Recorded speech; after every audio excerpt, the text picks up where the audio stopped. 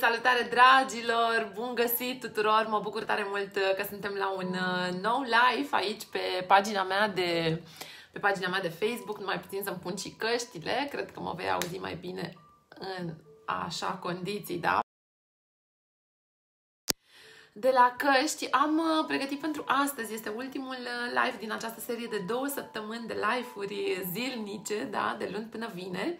Am uh, pregătit câteva întrebări, da, pe care le-am primit astăzi sau ieri, astăzi și ieri pe e-mail, da, și aș vrea să răspund în, în această sesiune live la întrebările pe care le-am primit și îmi spune Gabriel așa. Cea mai mare problemă cu care mă confrunt, multe treburi și timpul scurt. Încerc să le acopăr, să le fac pe toate. Cred că din cauza neștiută mă apuc de multe și nu termin mai nimic. Ce să fac? Ce soluție ai pentru mine? Uh, Gabriel, soluția pe care o am pentru tine este în felul următor. Timpul noi toți avem 24 de ore. Nu există om în această lume care să aibă 25 sau 30 de ore. Da? Uh, problema care se pune este că majoritatea oamenilor caută să își gestioneze timpul da? și ei caută, ok, cum să fac să am mai multe ore sau cum să fac să încap mai multe activități în aceste ore. Da? Uh, ideea atunci când vine vorba de managementul timpului uh, este nu despre a-ți gestiona timpul, ci despre a-ți manageria activitățile. Da?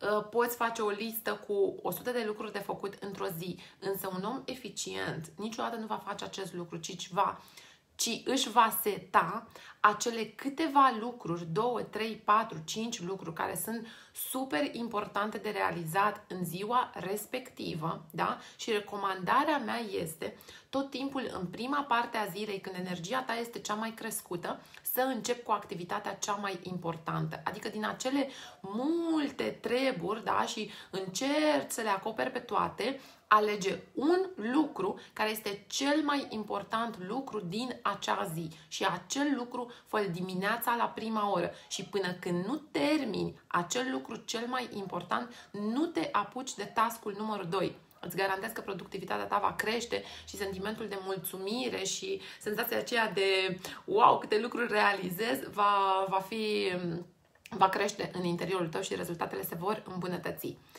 Hai să vedem, mai îmi spune Cristina aici, bună Nina, cu ce mă confrunt cu multe, dar în acest moment cu multă, multă muncă la serviciu, mi s-au dat mai multe atribuții plecând în pensie încă o colegă, sunt hârtii de dimineața până târziu, simt că numai asta voi face de acum încolo.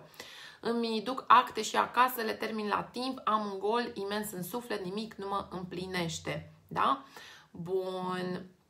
Ok, și continuă ea aici, uh, relație foarte dezastruoasă cu fiul meu care a crescut, uh, pe care l-am crescut singură, are 25 de ani fiul, da? Oh, ok, îți mulțumesc că existi și că faci parte din viața mea, ești bucuria mea când știu că îmi scrii sau că faci webinarii, te îmbrățișez cu mult drag și eu te îmbrățișez, Cristina, și mă bucur tare mult uh, că mă urmărești și că îți iei valoare din uh, lucrurile pe care eu uh, le ofer în, uh, în aceste webinarii și în aceste live-uri și în tot ceea, ce, uh, tot ceea ce implică partea aceasta de lucru cu oamenii pe care am ales să o, să o realizez.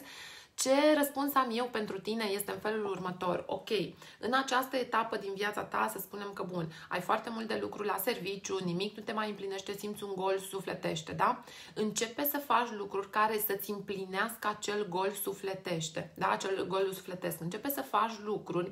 La început, poate că da, timpul tău va fi ocupat și energia ta va fi uh, orientată către alte activități care sunt uh, prioritare, să spunem. Da, cum ar fi jobul, ai nevoie de bani, ai nevoie să te întreții, ai nevoie Uh, poate pentru uh, băiatul tău, să spunem, da? Însă, începe să faci la început 10 minute. În fiecare zi să faci timp de 10 minute ceva ce simți că te împlinește. Poate fi că pur și simplu, nu știu, uh, bei un ceai și admiri păsările, da? Ești pe balcon, să duci pe geam și admiri păsările. Poate fi că asculti un material motivațional. Poate fi că îți faci o baie caldă, da, cu spumă sau poate fi că ești la o plimbare în parc. La început faci 10 minute, după care vei face 15, după care vei face 30 de minute.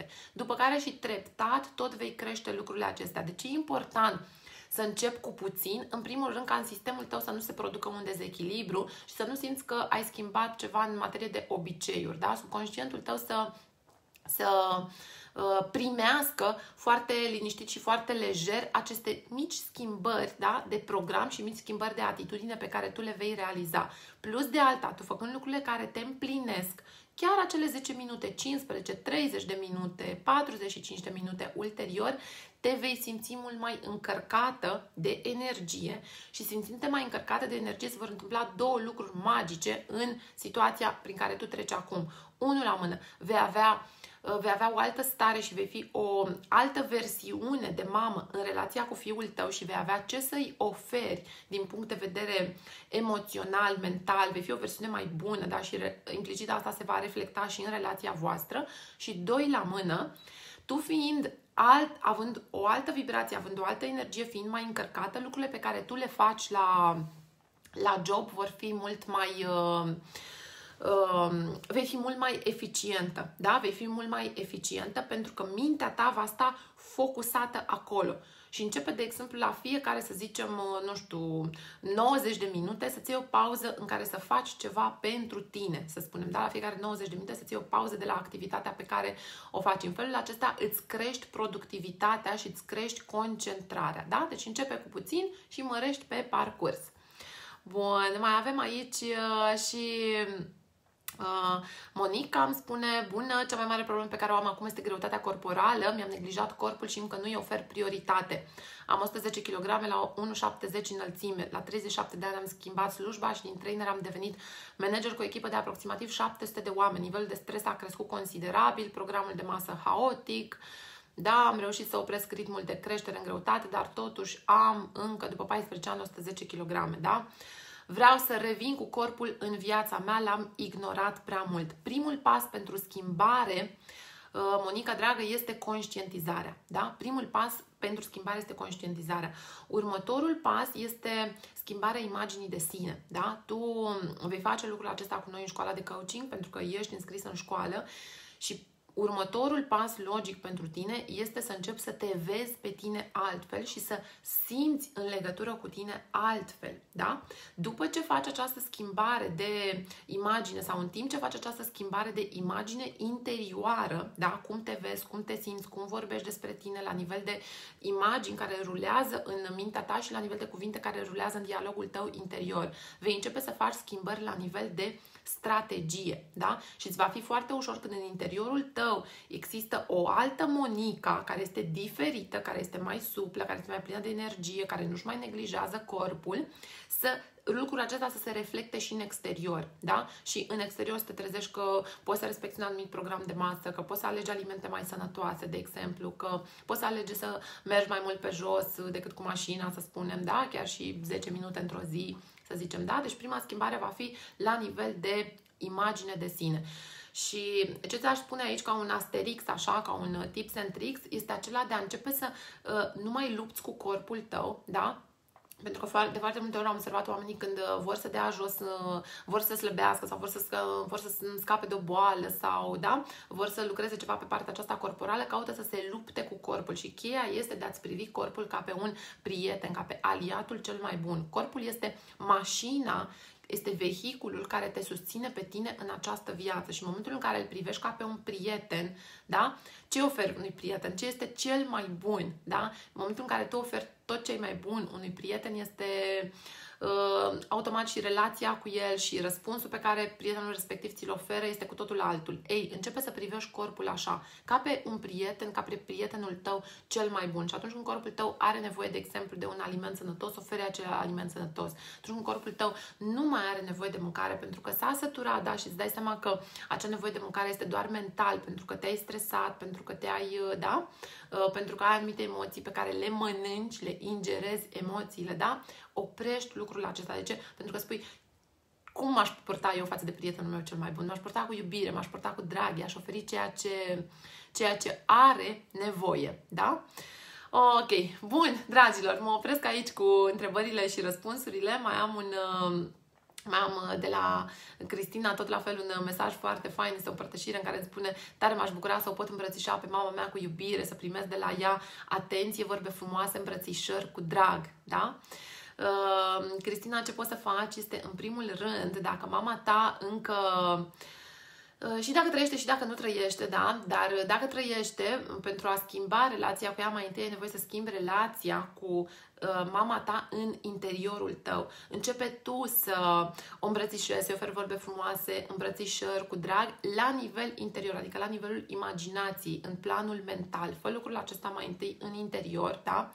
Tot timpul amintește de ea, uh, gândește-te la ea, transmite o energie pozitivă, da? Și ulterior vei vedea că te vei, vei începe treptat, treptat în relația cu ea să te comporți în felul acesta și atitudinea ei se va, atitudinea ei se va schimba. Părinții noștri trăiesc în interiorul nostru și sunt parte din noi pe tot parcursul întregii noastre vieți. Fie că părinții trăiesc, fie că nu mai trăiesc părinții, da? În continuare avem acea legătură puternică cu ei. Și chiar dacă un părinte nu mai există, tu tot poți transforma relația cu părintele tău, pentru că în realitate nimic nu există în exterior, ci totul este în interiorul nostru și ceea ce contează este relația interioară pe care tu ai cu mama ta, relația interioară pe care tu ai cu tatăl tău. Deci începe de aici, de la interior și transmite uh, lumină și iubire către mama ta, îmbrățișează și starea ta se va schimba și implicit uh, și relația cu ea.